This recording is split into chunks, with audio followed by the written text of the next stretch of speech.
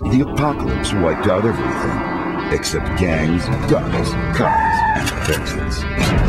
Twisted Metal Black meets Grand Theft Auto, says Electronic Gaming Monthly. Roadkill. Rated mature.